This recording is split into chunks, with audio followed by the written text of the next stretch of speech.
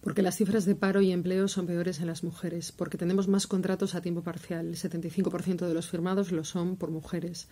porque sufrimos mayor precariedad, lo que supone menores salarios y cotizaciones y también menores derechos en las prestaciones sociales, porque en Asturias la brecha salarial alcanza el 38%, la más alta en el conjunto del Estado,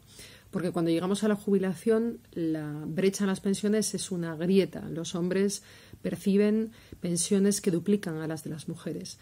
porque el mayor porcentaje del trabajo no remunerado, el trabajo de cuidado, sigue cayendo en manos de las mujeres. Por todos esos motivos, el 8 de marzo yo paro.